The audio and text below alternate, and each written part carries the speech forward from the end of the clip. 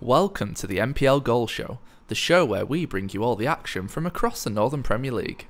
We start at Hurst Cross, where two of the top five met in Ashton United and Worksop Town. Worksop came into the weekend having scored a league high 29 goals in 11 games, and it took just 10 minutes to add to that tally. Jordan Burrow with this early header.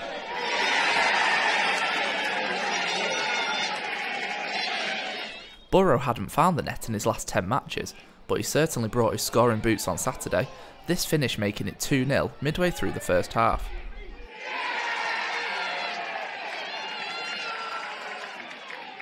Ashton have an informed striker of their own in Darius Osei, who pulled one back for the Robins before half time.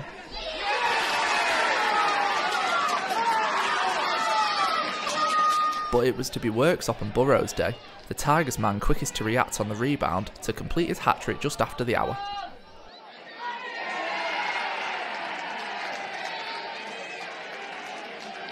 Osei grabbed his and his team's second to set up a grandstand final few minutes, but it proved to be a mere consolation as Worksop moved to within a point of leaders Macclesfield.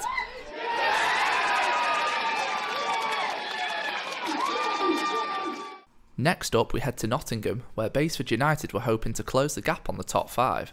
The only goal of the first half saw the home side beat the high line, with Ashley Chambers having the easiest of finishes, this his eighth of the season.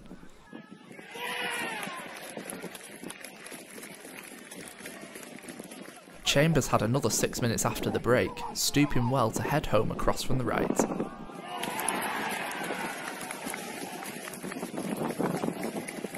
A resurgent Bamber Bridge came into this one with four wins to show from their last five games, and a low finish from Lucas Weaver gave them a lifeline with less than 20 to go.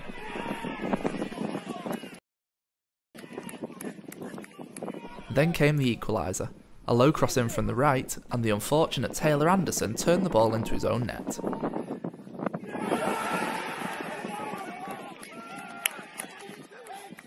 But there was still to be one final twist to the tail in second half stoppage time. Another low cross in from the right, and another own goal, this time Will Squires the unfortunate party. Basford rise to 8th, a point off the playoffs. At Broadhurst Park, Mark Beesley was hoping to keep up his 100% start as FC United of Manchester boss, with Lancaster City the visitors. Lancaster couldn't have asked for a better start, Dom Lawson firing home the opener inside six minutes.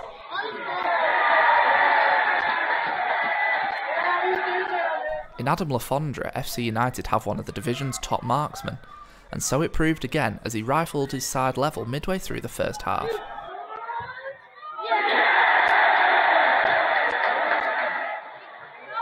Three minutes later, Jordan Buckley completed the turnaround.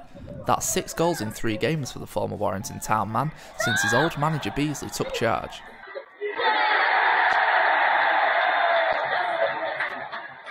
But there was still time for a response, and with an hour gone, Lancaster were level thanks to this header from Lewis Mansell.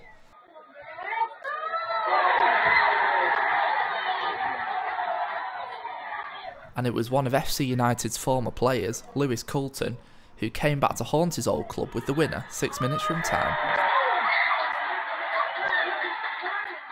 On to Hebburn Town, who were looking to make it three wins in a row against Matlock Town. The visitors had yet to win under new manager Ryan Cresswell, but they opened the scoring midway through the second half through Reese Kendall.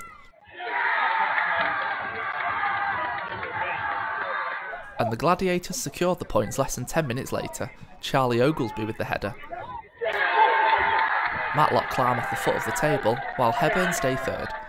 There was only one goal separating Leek Town and Blyth Spartans, who were both in desperate need of a win on Saturday.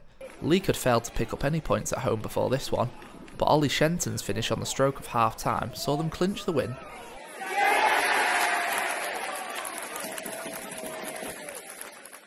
At Craik Park, Morpeth Town were looking to bounce back from their midweek defeat to Ilkeston with Whitby Town the visitors.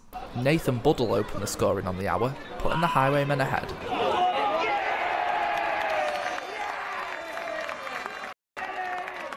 But Whitby came into this one looking to end a run of three without victory, and Stephen Walker ensured they wouldn't return empty handed. One all it finished in Northumberland. Our final highlights of the round come from Warrington Rylands, with the side currently second bottom looking to pick up their first win under new boss Neil Reynolds. However, it was Stockton Town who opened the scoring in this one through Josh Scott, just minutes after coming off the bench.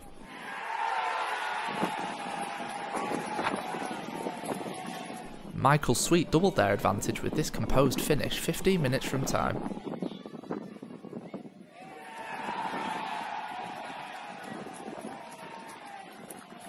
And the Anchors made it 3, 6 minutes from time.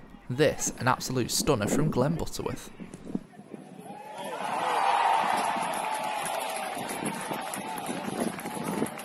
Dylan Dwyer pulled one back as his deflected cross slipped through the fingers of Nathan Harker, but it wasn't enough for the Blues as their league struggles continued.